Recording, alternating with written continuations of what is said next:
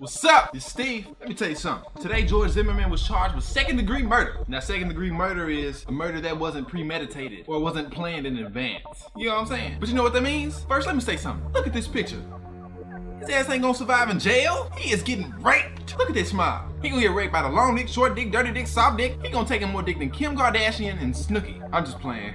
Y'all fine. And when I say y'all, I mean Kim. Anyway, like I was saying, everybody knew he was going to jail. Why you think his lawyers left him? They claimed they couldn't find him.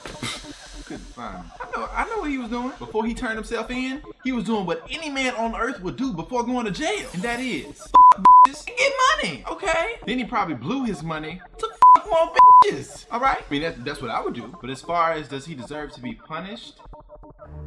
Hell yeah, he killing little kids. But at least Trayvon didn't go out like no little bitch though. I know that much. That's what I do know. Matter of fact, Trayvon was 6'2 and 175 pounds.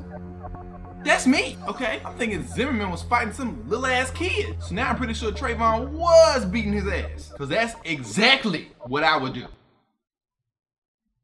after I run away. The bad thing is that I love hoodies. I mean, I'm, I'm, wearing one now. And I live in a black neighborhood. The tables have turned, people. I'm scared for my life every day. If I walk outside with some Snickers and Kool-Aid, it's over. I think I'm lying. Ice tea? Huh? You want some skills of iced tea? Some what? No!